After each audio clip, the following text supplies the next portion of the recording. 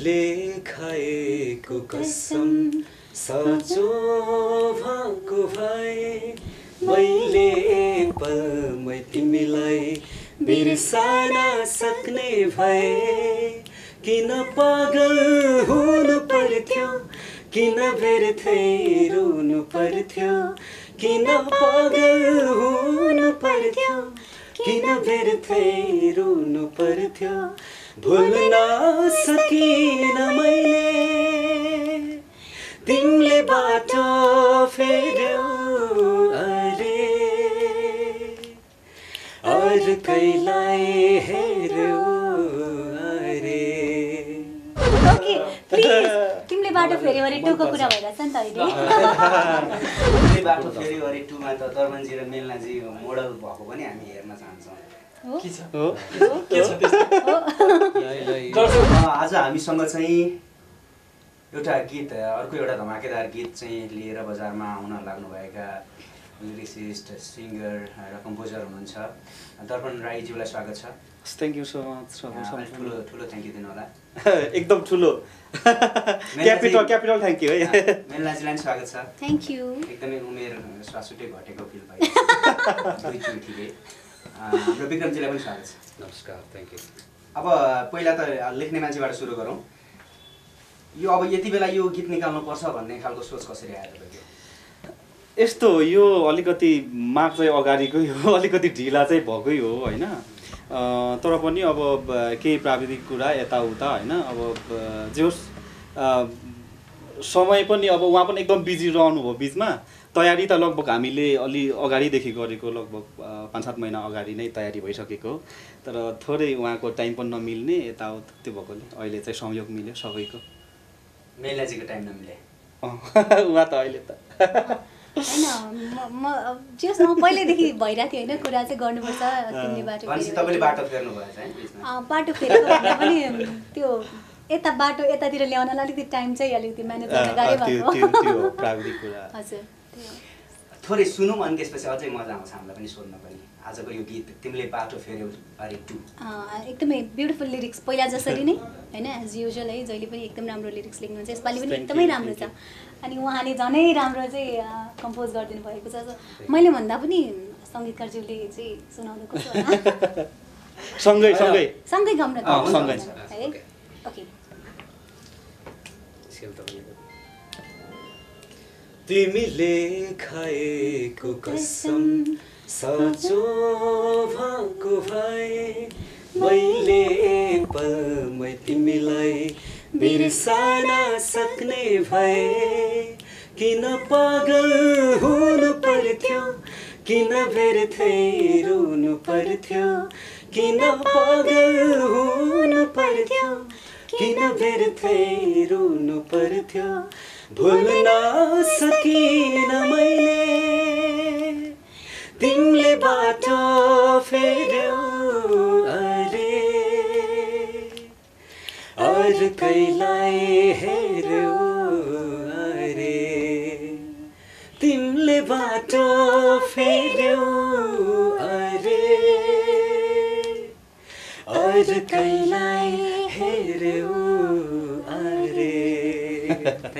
Thank you कस्तो रह्यो अलिकति भिन्नता भनौँ न पहिलो गीत र यो गीतमा तपाईँलाई गाइरहँदा उत्तिकै मजा आयो उत्तिकै भावमा डुब्नुभयो हजुर। कम्पोजिसनमा त एकदमै भास्ट डिफ्रेन्स छ। डिफ्रेन्स एकदमै धेरै भए पनि तर त्यो स्विटनेस छ नि कम्पोजिसनको स्विटनेस टङ्क दाईकोमा पनि उत्तिकै राम्रो र यसमा पनि उत्तिकै राम्रो। फ्रेसमा फ्रेस तरिकाको छ होइन? त्यसमा फरक किसिमको छुट्टै छुट्टै किसिमको एकदमै राम्रो एकदमै राम्रो पाएको छु मैले चाहिँ। मैले मैले एकदमै धेरै आशा गरेको छु। हजुर। विक्रमजी के छ? यो कम्पोज गीत सुनिसकेपछि यो गीतलाई यसरी ढालौँ भनिरहँदाखेरि तपाईँको दिमागमा खेलेका कुराहरू प्लिज सेयर गर्नु धन्यवाद क्वेसन्सको लागि। फर्स्ट अफ अल त दर्पण सर अघि उहाँलाई चाहिँ ब्लेम लगाउँदा भने त उहाँ एकदम बिजी मान्छे। गीत सङ्गीत मात्रै होइन उहाँको व्यवसाय अन्य पनि छ आई थिङ्क सो उहाँकै कारणले गर्दा तपाईँलाई म ब्लेम लगाएँ। उहाँकै कारणले गर्दा अलिक लेट चाहिँ भएको। अब बिचमा टेक्निकल प्रब्लमहरू भनेको अरेन्जमेन्टहरू अलिकति लम्बिन्छ यताउता भएको छ। तर फर्स्टमा कम्पोजिसन उहाँले गर्नुको लागि जुन मलाई चाहिँ नि एउटा गीत चाहिँ नै दिनुभयो उहाँले यो लिरिक्स चाहिँ मैले अनेस्टली भन्नुपर्छ मेरो कम्पोज के हो कसो हो दर्शकले प्रतिक्रिया दिनुहुन्छ। तर लिरिक्स चाहिँ अनेस्टली भन्दा फर्स्ट भन्दा सेकेन्ड चाहिँ बेटर चाहिँ हो। मैले आफ्नो कम्पोजलाई चाहिँ इभ्यालुएसन गरेको छैन। लिरिक्स चाहिँ फर्स्ट अफ अल उहाँको बेटर थियो। यसलाई मैले धेरै मिहिनेत गरेको छु भन्नाले धेरै किसिमले यसलाई चाहिँ ट्युन गर्ने मैले कोसिस गरेको थिएँ। अनि यो चाहिँ हुन्छ है केही हुन्छ कि भनेर हामीले आश गरेर राम्रो गर्ने कोसिस गरेका छौँ त्यति। विक्रमजीलाई लोभ लागेन आफैले गाउँ भन्ने अथवा फिमेल होइन म पनि गाउँछु डेफिनेटली गाउँछु उहाँको भर्जनहरू आइरहन्छ। सबै आउँछ। Composer version why not so म पनि गाउँछु है अब क- यो गीतको भावअनुसार पहिलाभन्दा दर्दनाक हो अथवा चाहिँ यसमा के छ यो? अलिक आशाका किरणहरू छन्। यस्तो अब त्यो आफ्नो अब क्रिएसन त सबै माया लाग्छ पहिलाको अहिलेको उस्तै। तर अब यस्तो छ अब पहिलाको नराम्रो भन्न त मिल्दै मिल्दैन किनभने सम्पूर्ण दर्शक श्रोताले माया गरिदिएर अहिले मैले अब यो ठाउँमा। भन्न खोजेको कुरा भाव हुन्छ नि। एउटा फिल्ममा डुबाई ए। यस्तो छ त्यो यस्तो छ कि जस्तै अब तिमीले बाटो फेऱ्यौ अरे अरेको कुरा छ। त्यसलाई नै जोडेर ल्याएको छु कि यो चाहिँ। जस्तै त्यो अरेको कुरा चाहिँ काहीँ थर्ड पर्सनले लगेर सुनाएको कुरा हुन् नि त। जस्तै अब तिम्रो गर्लफ्रेन्ड त अर्कोसँग गयो अरे। अब चाहिँ बल्ल उसको प्लेसमा आएर हेऱ्यो कि उसले। हेर्दा साँच्चीकै छैन उडाइसकेको छ होइन? त्यो भएपछि तिमीले खाएको कसम साँचो भएको भए। पहिला त खाएको कसम थियो नि त गरेका बाचा थियो नि त। त्यो बाचा चाहिँ कम्प्लिट पुरा नभएकोले चाहिँ छुट्टिएको अहिलेको चाहिँ त्यो छ। दर्पणजीको त फेरि लाइफमा घटे अनुसार पनि लिरिक्स लेख्नुहुन्छ घट्न अलिक टाइम लाग्यो।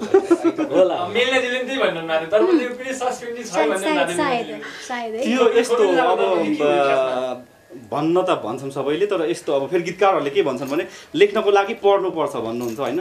तर ममा चाहिँ त्यो लागु हुँदैन। पहिला पनि मैले भनिसकेको छु यो क्रिएसन भन्ने कुरा आफै हुने हो। अब त्यो पढ्नै पर्छ भन्ने चाहिँ मलाई चाहिँ त्यो चाहिँ भएन। म चाहिँ पढेको छुइनँ भनौँ। भनेमा चाहिँ अनुभव छैन अँ। दोस्रो लिरिक्स अन्तरा लेख्न चाहिँ उहाँलाई समय लागेको थियो। पहिला चाहिँ त्यो अन्तरा फर्स्ट स्थायी अन्तरै दिनुभएको खासमा चाहिँ. तर अनि हामीले अन्तर राख्यो। त्यही त त्यो पनि यसपालि चाहिँ के छ भने अब भनेर। लामो हुने भएकोले गर्दा एउटा मात्रै अन्तरा समावेश गराएका छौँ। अनि अर्को अन्तरा पनि अब फेरि सुन्ने छौँ होइन? तिमीले बाटो फेऱ्यौ अरे। गीत तपाईँको जीवनमा कतिको महत्त्वपूर्ण भयो एकदमै धेरै। यसको चाहिँ एकदमै छुट्टै रोल छ क्या मेरो लाइफमा होइन? जस्तै अब त्योभन्दा अगाडि पनि धेरै गीत त गाइसकेको हो। तर गीत हिट भए पनि अब मेलिना राई चाहिँ हिट थिएन क्या। लाइक हुन्छ नि मेलिना राई चाहिँ कस्तो छ कस कसरी गाउँदो रहेछ। आई मिन आई मिन उसको फेसै थाहा थिएन कि। सो जब अब तिमीले बाटो फेऱ्यौ अरे चाहिँ गीत रिलिज भयो हामीले सिम्पल भिडियो स्टुडियोमै चाहिँ बनाएर हाल्यौँ होइन। त्यसबाट चाहिँ एकदमै मेलिना राई भनेर चाहिँ चिनिन चाहिँ। सफल भएको चाहिँ यही गीतबाट? एकदमै ठुलो रोल छ मेरो इम्पोर्टेन्स छ यो गीतलाई जोडिएर फ्यानले दिएको एउटा सम्झना लायक केही छ? तिमीले बाटो फेऱ्यौ अरे। होइन त्योभन्दा पनि फ्यान्सले चाहिँ मलाई अब कम्मरमाथि पर्छु कि सिरैमा शिरबन्दी कुटुमा कुटु। भन्दा पनि तिमीले बाटो फेऱ्यौ अरेको गायिका भनेर चाहिँ बेसी चिन्छ क्या होइन? सो त्यो नै एकदम ठुलो कुरा होस् लाग्छ मलाई। त्यति चाहिँ छ यस यो गीतले दिएको चाहिँ पहिचान भनौँ न। कम्मरमाथि पटुकी अरू गीतहरू हिट नम्बरहरू दिइरहँदाखेरि त्यसमा चाहिँ अरू चल्तीका नायिकाहरू नाचिरहँदा त्यो नायिकाहरूलाई ढाल्ने गायिका त यहाँ रहेछ भनेर।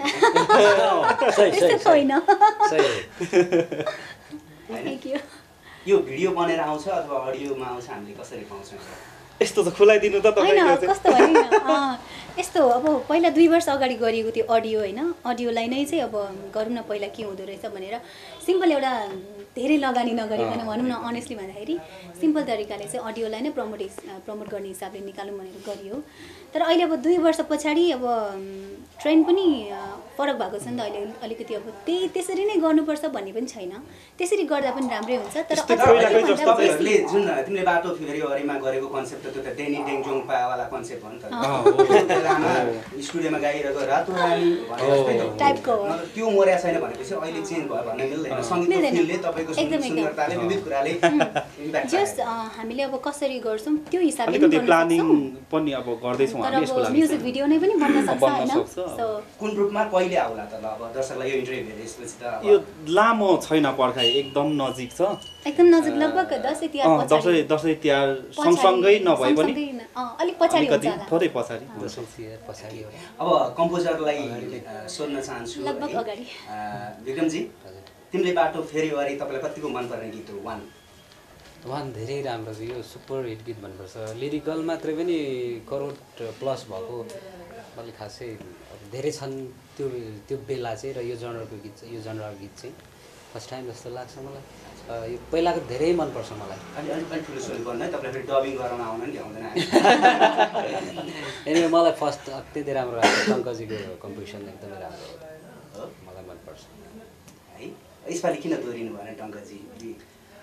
होइन उहाँ त एकदम अब ट्यालेन्टेड मान्छे हो होइन मनपर्छ। उहाँसँग फेरि पनि अब काम गर्ने धोको छ होइन। थोरै अब यसपालि चाहिँ अलिकति उहाँ पनि अब एकदम अहिले त हिट नम्बरमा हुनुहुन्छ व्यस्त पनि हुनुहुन्छ। त्यो भएकोले हो त्यस्तो केही नराम्रो हुन्छ नि अब अर्को उहाँ नहुन सक्नुहुन्छ अर्कोले गर्न सक्नुहुन्छ। त्यो त्यो हुन्छ अवश्य। फेरि अब कस्तो छ भने फेरि यो दुईमा चाहिँ विक्रम राईलाई नै चाहिँ किन भन्ने विषयमा चाहिँ अब उहाँ एकदमै ट्यालेन्टेड मान्छे के? ट्यालेन्ट मान्छे हो अब थोरै कसैको आँखा चाहिँ नपरेको हो कि भन्ने कुराले अब गर्नु भएको छ एकदम मिठो गर्नु नयाँ भएको छ यसै पनि टङ्गजी त चर्चामा रहेको मान्छे। नयाँ ट्यालेन्टहरू नयाँ प्रतिभाहरू नयाँ जोस जाँगर सालमा आउने व्यक्तिहरूलाई स्वागत गर्नुभएको छ। एकदमै सराहनीय कुरा हो। अब त हजुरको लाइफमा बाटो फेरेर जानेहरू छ कि छैन? आज छातीमा हात राखेर भनिदिनुहोस्। कम्पोजरबाट सुरु गर्छु। मेलनाजी पनि आउँछ यता पनि आउँछ। अनेस्टली भन्नुपर्छ त्यो अब अब यो जुन बाटो अनेस्टली भन्नुपर्छ छ हो। मसँग चाहिँ त्यस्तो एक्सपिरियन्स भएको छैन। बिटलाई भोलि। छैन। जानेले त कहाँ पिट्छ? छैन भने उहाँले भने चाहिँ अनुभव हुनुपर्छ भन्ने छैन एक्सपिरियन्स हुनुपर्छ भन्ने छैन फिलिङ्स हो। मलाई चाहिँ त्यही लाग्छ। मेला चाहिँ यो गीत सुनिसकेपछि कतिपय व्यक्तिहरू रात- रातमा सुत्ने बेला रुँदै सुने होला होइन? विभिन्न उहाँहरूको कथासँग आफ्नै तपाईँले गाएको गीतसँग उहाँहरूको कथा लिङ्क गरेर यसलाई बुझे होला होइन? तपाईँभित्रको चाहिँ यो अनुभव छ कि छैन? तिमीले बाटो फेऱ्यो अरे कसैलाई भन्नुपर्ने अवस्था छ कि छैन? होइन त्यो भन्नुपर्ने अवस्था त छैन। अनेस्टली है छैन, म चाहिँ त्यो छँदै छैन। अरूले बाटो फेर्ने साथीभाइले बाटो फेर्ने पनि त रहन्छ नि त। त्यो त रहन्छ रहन त होइन। तर मेरो हुन्छ नि पर्सनल लाइफमा त्यस्तो भएको छैन। तर पनि गीतले एउटा हुन्छ नि टच चाहिँ दिन्छ। जस्तै मैले स्टेजतिर पनि गाउँदाखेरि त्यो फिल नै अलिकति अर्कै बनाइदिन्छ क्या। लाइक हुन्छ नि आफूले नभोगे पनि त्यो ठाउँमा आफूलाई राखेर हेर्दाखेरि चाहिँ डुबेर हेर्दाखेरि चाहिँ त्यसले टच हुन्छ क्या। सो त्यस्तो चाहिँ फिल हुन्छ आफ्नो छैन त्यस्तो। दुईजना नफेरेको मान्छे तपाईँको के छ यार? प्लिज अरे उहाँको त फेरेको होला होइन किनभने उहाँले नै लेख्नु होइन। भएको त। मैले त्यो अघि नै क्लियर गरिसकेँ त्यो कुरा होइन? स्टार्टिङमा पनि आएको थियो नि त्यो कुरा। अनि त्यही त मेरो अहिलेसम्म त्यस्तो बाटो फेरेको छैन। अब आएर भोलि फेऱ्यो भने अलग कुरा रहन्छ होइन? तर अहिले- अहिलेसम्म फेरेको छैन। यस्तो डेटमा गएर यतिको लिरिक्स त नआउनु पर्ने त्यतिको अनुभव बिना त। सामान्य लिरिक्स त हामी पनि होइन एउटा तपाईँले भने। जस्तै फिल हो होइन? त्यसलाई नै रिपिट गरौँ ओके मेलाजीलाई म केही क्वेसनहरू सोध्न चाहन्छु। अब अहिलेको ट्रेन्डको कुराहरू पनि गरौँ तपाईँको एउटा गीत यति बेला ट्रेन्डिङमा छ। गीत याद होला। भन्नु त। एउटा गीत चाहिँ हजुर अँ त्यो म चाहिँ मेरो गीत भन्न चाहन्न होइन। त्यो चाहिँ हाम्रो नारायण राईमाझी दाईको अनि हाम्रो वरिष्ठ गायिका सिन्धु मल्ल दिदीको। तर त्यो चाहिँ कस्तो भने रिमेक हो होइन रिमेकलाई चाहिँ अब पछि अब न्यू जेनेरेसनमा मलाई एउटा अवसर दिनुभएको होइन। त्यसलाई मैले गाउने काम मात्रै गरेको त्यो मेरो गीत भन्न मिल्दैन। उहाँहरूको गीत त्यो सबै गीत हो। हामीले सुनेपछि हाम्रो पनि गीत। त्यो थोरै एक टुक्रा सुन्न पाएँ हजुर हाम्रो। लाइछौ बेसनको हो र? भयो नि त। म पनि सहयोग गरौँ। ओके हे छोरा छोरी छोरा छोरी भिन्नता छैन। भने नि एकै फरक पर्दैन लाइछौ बेसन हे लाइछौ बेसन चिन्न नि नसक्ने रहेछ बेसन भिन्नता छैन भाइ भने नि एकै फरक पर्दैन लाइछौ बेसन लाइछौ बेसन चिन्न नि नसक्ने लाइछौ बेसन तिमीले बाटो फेऱ्यौ अरे गाउँमा जन्मी सहरमा हुर्केकी केस काटे ए, सबै थाहा। ए परेली खुर्केकी लाइछौ बेसन यसलाई बेसन चिन्न नि नसक्ने रहेछ फेसन ओके प्लिज तिमीले बाटो फेऱ्यो भने टुको कुरा भइरहेछ नि त अहिले ओके अब। आउँदो जस्तो मेलजीले गाउनुभयो फिमेलमा होइन? मेलमा चाहिँ कसको भर्सन आउला गीत यो अहिले ठ्याक्कै नै चाहिँ अब सुरुमा उहाँकै नै रिलिज गर्छौँ हामी। अनि त्यो पछि अब पछि अब सोचेर पहिला योभन्दा अगाडि राजेश दाई हुनुहुन्थ्यो। अब उहाँ पनि दोहोरिन सक्नुहुन्छ। यसलाई चाहिँ केही समयपछि थाहा पाउनुहुनेछ अन्त भर्सन भर्सन आउँछ। अब ओल्ड भर्सनमा मात्रै आउनु लाग्छ चाइल्ड भर्सन पनि आउँछ। जस धेरै भर्सनमा दर्शकहरूले श्रोताहरूले सुन्न पाउनुहुन्छ हेर्नु अँ पाउनुहुन्छ। हो। ए मेलाजीलाई नै क्वेसन गर्छु। अब अलिकति ट्र्याक बाहिरको कुरा हामीलाई टाइटल पनि चाहिन्छ कि। अँ। हजुर। अनि त्यसपछि अहिले दुईवटा रियालिटी सो चलिरहेको छ। तपाईँ गायन क्षेत्रमा एउटा हस्ती हुनुहुन्छ Nepal idol voice of Nepal. तपाईँले कतिको हेरिरहनु भएको छ? अलिअलि हेरेको छु। भोइस अफ नेपाल चाहिँ अलिकति बढी हेरेको छु। होइन दुइटै मनपर्छ। हजुर हजुर। अलिक भोइस अफ नेपाल चाहिँ छ नि जस्तै यो सिजन वान पनि हो नि त होइन अनि अलिकति इन्ट्रेस्टिङ पनि छ ब्लाइन्ड अडिसन भन्ने अब नेपालमा थिएन पहिला सो यो अलिकति न्यू भएको कारणले पनि अलिकति बेसी इन्ट्रेस्टिङ हो कि जस्तो लाग्छ होइन त्यो चाहिँ अब सिजन टू भयो होइन दुइटै हो उत्तिकै छ नि उत्तिकै छ नि मार्केटमा त होइन